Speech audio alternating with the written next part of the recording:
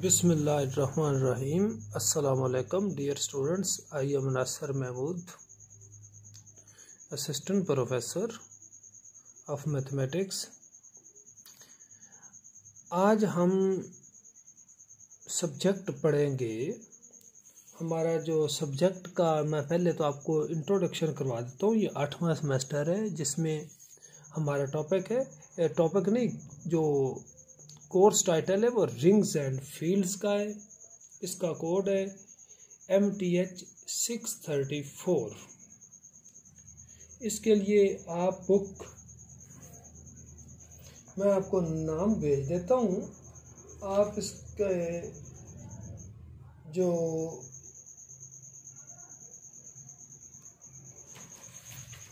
Books हैं, वो Herstein I N topics in algebra ये ले सकते हैं या डोमेट डी एंड फोर्टी, इसका बुक का नाम है एब्स्ट्रैक्ट अलजबरा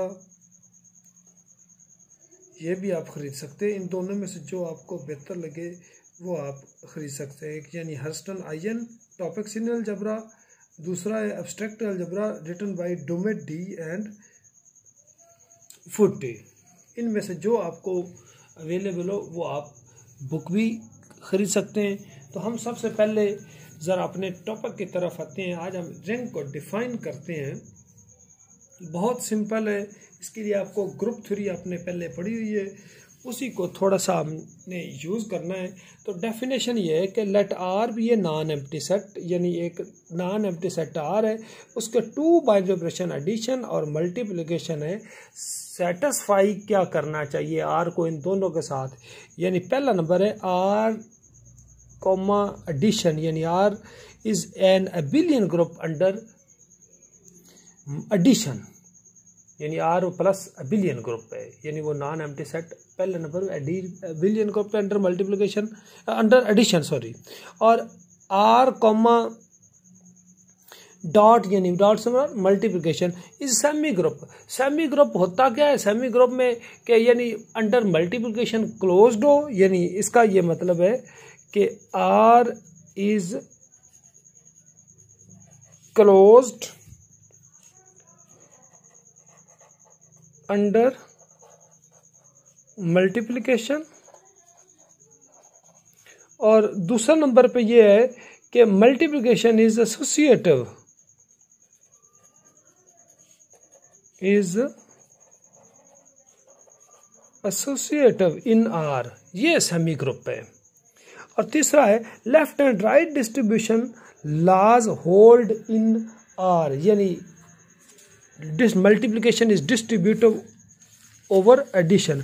वो यानी लेफ़्ट कैसे है कि यानी लेट आप कर लें कि ए बी सी ये तीनों बिलोंग्स टू आर हैं तो A dot B plus C किसके इक्वल होना चाहिए? A dot B plus A dot C ये लेफ़्ट डिस्ट्रीब्यूटिव लॉ है, यानी left law of multiplication is distribution distributive over addition या A plus B dot C ये होना चाहिए A dot C plus B dot C तो ये two distributive laws भी होल्ड करने चाहिए। तो ये रैंक की डेफिनेशन है। यानी ये कि यानी आर को नॉन एम्प्टी सेट है। R is abelian group under addition दूसरा R is semi group under addition semi group का मतलब कि उसमें दो प्रॉपर्टीज़ अंडर मल्टीप्लिकेशन वो क्लोज होना चाहिए और अंडर मल्टीप्लिकेशन उसे क्या होना चाहिए? एसोसिएटिव होना चाहिए। और तीसरे नंबर पे कि left and right distributive laws hold in R that is A B C belongs to R A dot B plus C equal to A dot B plus A dot C तो अब हम कुछ इसकी examples को देखते हैं। Example number one है कि let the set Z of integers यानी ऑल इंटीजर्स ये क्या है? Under usual operation of addition and multiplication is a ring ये कैसे रिंग है? कि हमें पता है कि जो जेड है अंडर एडिशन ये इस एन अबिलियन ग्रुप होता है या नहीं होता? होता है। दूसरा नंबर पे जेड और मल्टीप्लिकेशन इज़ सेमी ग्रुप यानी कोई भी दो आप इंटीजर लें, उनको मल्टीप्लाई करें तो वो जेड में ही आता है क्लोज्ड हो गया और मल्टीप्लिकेशन एसोसिएटिव भी है। आगे आइडेंटिटी की बात नहीं हो रही। हालाँकि आइडेंटिटी इसमें है तो सही, लेकिन इन्वर्स नहीं है तो हमने आगे जाना ही नहीं। ये सेमी ग्रुप पहले दो प्रॉपर्टीज़ होनी चाहिए तो दोनों इसमें हैं। और तीसरे नंबर पे कोई आप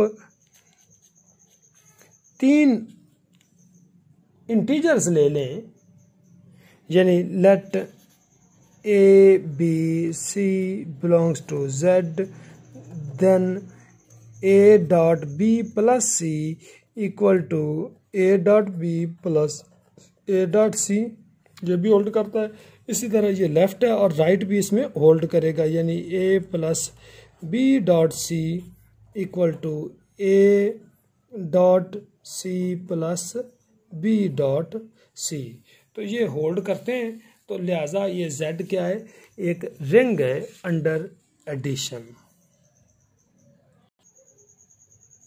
एग्ज़ाम्पल टू है the set Q of rational number is ring क्योंकि Q under addition abelian group है Q under multiplication semi group भी है, और क्यू में भी डिस्ट्रीब्यूटिव लेफ़्ट और राइट लाज होल्ड करते हैं तो ये भी आपकी क्या हुई? रिंग। इस तरह आर भी रिंग है, यानी आर से सेट ऑफ़ रियल नंबर और C set of complex numbers ये भी एक रिंग है। इसमें मैं थोड़ा सा एक्सप्लेन कर देता हूँ कि सी भी अंडर एडिशन अविलियन ग्रुप है अंडर मल्टीप्लिकेशन ये क्या है? सेमी ग्रुप है, लेकिन इसमें एडिशन और मल्टीप्लिकेशन डिफाइंड कैसे होगी कि हम दो जेड वन ले लेते हैं कि एक्स प्लस अयोटा वाई और जेड टू आप ले लें। X dash plus iota Y dash तो Z one plus Z two आपने ऐड कैसे करना है कि X plus X dash plus iota Y plus Y dash और इनको मल्टीप्लाई कैसे करना है? जेड वन जेड टू को, ये भी आपको पता है कि एक्स वन यानी X X dash minus Y Y dash plus iota X Y dash plus Y X dash ये आपको पता है, अपने कम्प्लेक्स नंबर में पहले भी पढ़ा हुआ है। तो इन एडिशन कम्प्लेक्स नंबर की इस तर, इस रूल से करनी है मल्टीप्लिकेशन आप इस रूल से करेंगे तो ये जेड बी ए क्या है? रिंग है। एग्ज़ाम्पल नंबर फाइव देखते हैं कि let M N denote the set of all N cross N matrices over real या कम्प्लेक्स नंबर्स यानी मेट्सेस की एंट्रीज रियल भी हो सकती हैं कम्प्लेक्स भी हो सकती हैं। हम इसको ये भी एक रिंग है एम एन तो इसमें अगर मैं थोड़ा सा एक्सप्लेन कर देता हूँ कि अगर आप ए फ़र्ज़ कर लें, कोई मैट्रिक्स है ए आई जे इसका आर्डर है एन बाई एन और अगर आप बी फ़र्ज़ कर लें कि बी आई जे है, इसका भी आर्डर एन बाई एन है। तो आपको पता है कि ए प्लस बी कैसे होगा? ए आई जे प्लस बी आई जे इसका भी आर्डर एन बाई एन और ए बी मल्टीप्लिकेशन आप कैसे करेंगे? वो ए पहले की रो दूसरे के कॉलम से आपने मल्टीप्लाई करना है। ये फ़र्ज़ करो कि सी आई जे आता है, इसका भी आर्डर एन बाई एन होगा, जिसमें सी आई जे अगर आपने मेट्सेज पढ़े हुए हैं तो ये बड़ा इजीली आप देख सकते हैं कि सी आई ए जे किसके इक्वल है? कि लेमडा ए आई एक्स आई के और B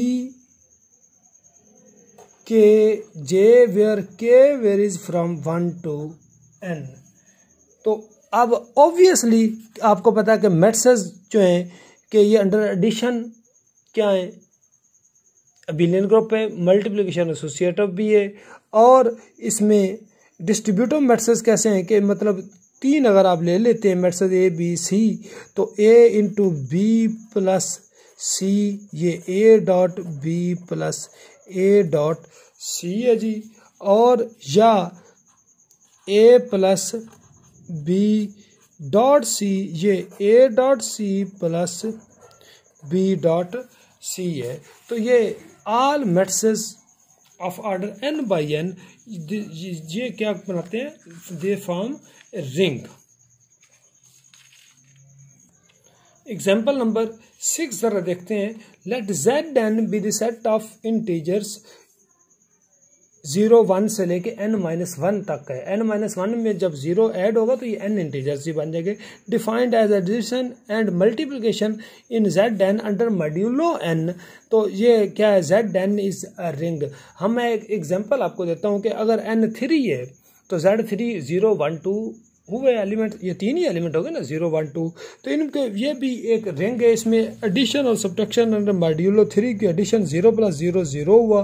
Zero plus one one zero plus two two one plus zero one one plus one two और one plus two three three को थ्री पे डिवाइड किया रिमाइंडर आया जी ज़ीरो फिर two plus zero two two plus one three three को three पे divide किया रिमाइंडर ज़ीरो और two plus two four four को थ्री पे डिवाइड किया रिमाइंडर आया वन अब multiply zero multiplied by zero zero zero और ज़ीरो मल्टीप्लाइड बाई टू वो भी आया जी ज़ीरो अब वन मल्टीप्लाइड बाई ज़ीरो क्या आया जी? Zero one multiplied by one one one multiplied by two two two multiplied by zero zero two multiplied by one two और two multiplied by four four को three पर divide किया remainder आया आपका one तो इस के तहत जेड थ्री ये अंडर अ बिलियन ग्रुप है। अंडर मल्टीप्लिकेशन ये क्या है? सेमी ग्रुप है। तो इसका ये मतलब हुआ कि Z three is a ring यानी यहाँ पे अंडर एडिशन ये बिलियन ग्रुप प्रूव हो रहा है। इधर ग्रुप तो प्रूव नहीं हो रहा अंडर मल्टीप्लिकेशन लेकिन सेमी ग्रुप हमें क्लोज्ड भी है और एसोसिएटिव भी है। और कोई आप इसमें से एलिमेंट्स ले लें, इसमें वो डिस्ट्रीब्यूटिव लेफ़्ट और ला राइट लाज भी इजीली इसमें सेटिस्फाइड हो रहे हैं। तो लिहाजा ये क्या है जी?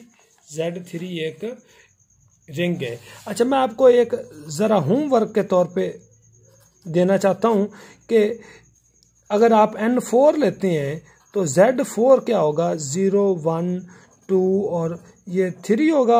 आप इसको एक रिंग प्रूव करेंगे। इसी तरह टेबल बनाकर वो देखना है, चेक करना है कि वो अंडर एडिशन और मल्टीप्लिकेशन रिंग है या नहीं है। तो इसकी फर्दर इसकी टाइप्स को हम नेक्स्ट लेक्चर में देखेंगे। Thank you ji.